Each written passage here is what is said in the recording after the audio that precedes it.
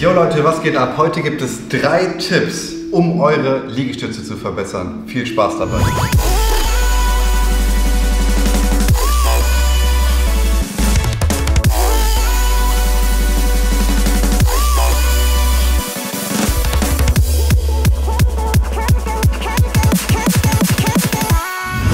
Tipp Nummer 1.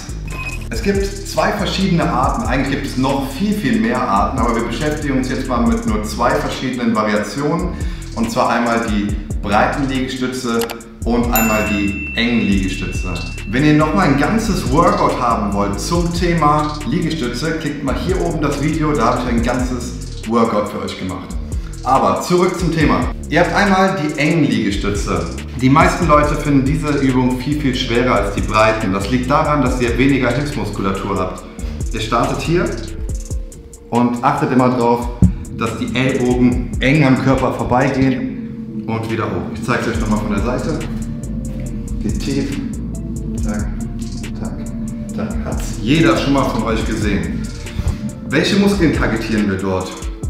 Klar, ein bisschen die Brust, ein bisschen die Schulter, aber hauptsächlich den Trizeps.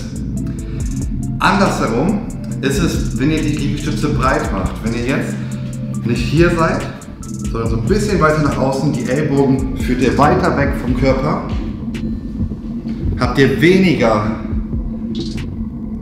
den Trizeps drin, desto breiter ihr die Arme macht, desto weiter weg die Schultern gehen, desto mehr habt ihr die vordere Schulter drin.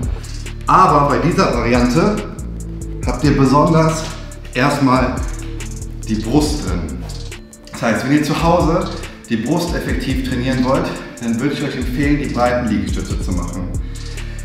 Dabei immer darauf achten, wenn ihr die Push-Ups von der Seite betrachtet, sind die Hände immer hier. Wenn ihr es jetzt vergleicht mit jemandem im Gym, der Bankdrücken macht, der würde auch nicht, also es gibt es natürlich teilweise schon, aber es sollte nicht so sein, würde auch nicht die Stange, wenn ihr euch eine Stange vorstellt, die Stange hier hinnehmen. Dann seht ihr nämlich, hier habt ihr dann Liegestütze so. Sieht man ganz oft, dass Leute es so machen. Noch schlimmer, Handstellung und so weiter. Aber das ist ein anderes Thema. Deswegen achtet darauf, dass ihr ungefähr auf Brusthöhe die Hände absetzt. Genauso als wenn ihr Bankdrücken machen würdet. Und dann habt ihr eine gute Position für die Push-Ups. Tipp Nummer 2. Die Schulterstellung. Auch wie beim Bankdrücken. Stellt euch vor, vergleicht es mit einer Übung wie Bankdrücken im Gym. Die Schultern dürfen nicht nach vorne kommen. Ganz oft passiert es, dass die Schultern hier nach oben wandern, wenn ihr die Liegestütze macht. Wir zeigen euch das jetzt mal aus einer Perspektive von oben, dann könnt ihr es deutlicher sehen.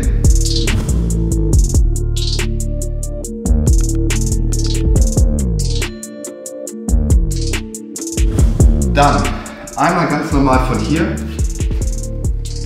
würden so die Schultern zu den Ohren wandern.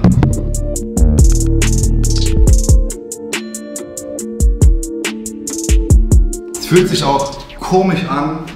Ihr merkt, der Nacken wird verspannt und das würdet ihr auch niemals im Gym machen. Man achtet immer darauf, dass die Schultern tief gezogen sind und nicht zu den Ohren ziehen. Das heißt immer weg von den Ohren. Heißt, ihr startet den Push-Up hier, zieht sofort die Schultern nach hinten unten und startet dann erst.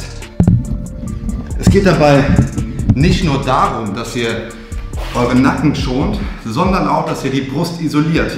Wenn ihr die Schulterblätter zusammen nach unten zieht, isoliert ihr die Brust und trefft die Brust viel besser beim Training. Und der letzte Tipp, Tipp Nummer 3, ist eine Übung, wie ihr sicher gehen könnt, dass ihr bei den Liegestützen weniger schummelt und halt wirklich aus den Armen drückt. Ich mache das ganz gerne mal in Kursen und sage, wir legen uns jetzt alle mal hin. Zack. Von hier stellt ihr die Hände auf, links und rechts. Stellt die Zehen fest in den Boden.